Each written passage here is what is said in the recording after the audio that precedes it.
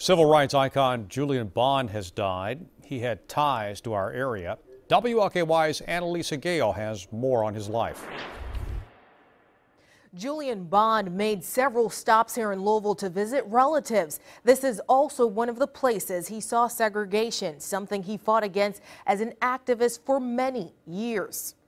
He knew how to get people to follow and do the things that uh, they knew they wanted to do. Julian Bond is remembered by many across the nation for being one of the leaders that joined together to fight for equality during the civil rights movement.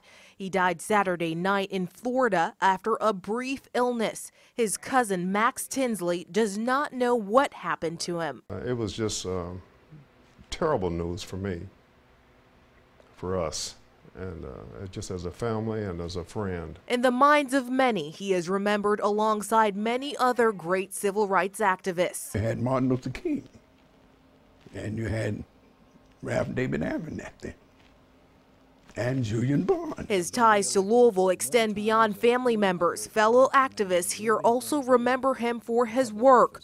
Dr. C. Daniels Mackey remembers attending rallies for justice led by Dr. Martin Luther King Jr., and among the leaders was Bond. Another soldier uh, of the movement, an intricate part of the movement, has fallen Tinsley remembers Bond spending summers in Louisville with him during his childhood years and then watching him rise to prominence on the national scene.